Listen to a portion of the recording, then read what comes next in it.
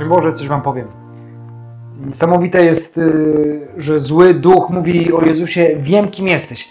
Człowiek mówi, nie znam Boga. Nie wiem jak wygląda. Czy wygląd coś zmienił w podejściu do wiary? Czy wszyscy jesteśmy Tomaszami, którzy dopóki nie zobaczą, to nie uwierzą? Powietrza też nie widać, a wiemy, że jest, bo nim oddychamy i dzięki temu żyjemy.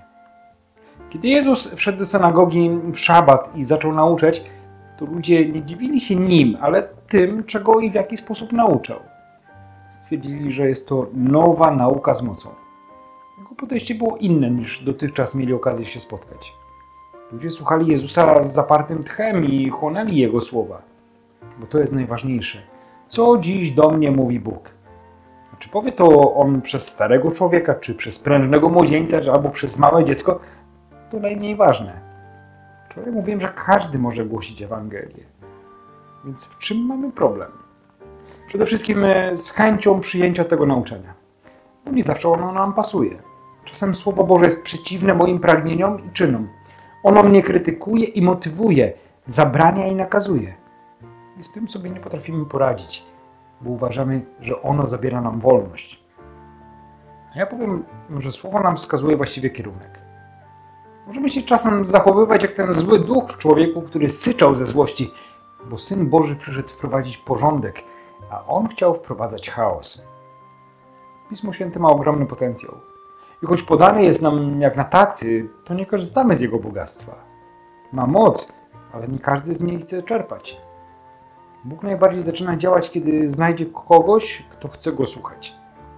Zatrzymując się w swoim działaniu, chcąc wysłuchać to, co Bóg chce nam powiedzieć, możemy doświadczyć cudów.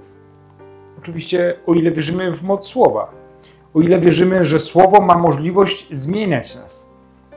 Ludzie, którzy byli w synagodze, jak zresztą w każdy szabat, słyszeli niejednego rabina, który wykładał im pisma, dziś stanęli przed Jezusem z wielkim zaciekawieniem.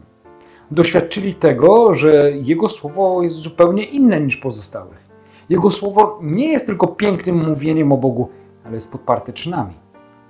Najlepszym tego przykładem jest właśnie ten opętany.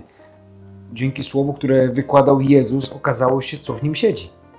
Zły siedział w człowieku i pilnował, by nie zainteresował się więcej Bogiem niż to jest konieczne. Mógł wejść do synagogi, posłuchać o prawie, ale nic więcej. Kiedy żywe słowo dotarło do niego, wtedy zaczęło się całe to przedstawienie. Za wszelką cenę chciał zagłuszyć Słowo Boże, by człowiek nie poszedł w tym kierunku. By człowiek nie zastanowił się nad swoim lenistwem, nad swoją słabością, nad swoją byle jakością. Po prostu zły czuwa, by człowiek nie spoglądał w kierunku nieba, skąd nadchodzi dla nas ratunek. I tu widzimy, że z pokusami nie ma co wchodzić w dyskusję. One nas wchłoną i zniszczą. Dlatego Jezus mówi: milcz i wyjdź z niego.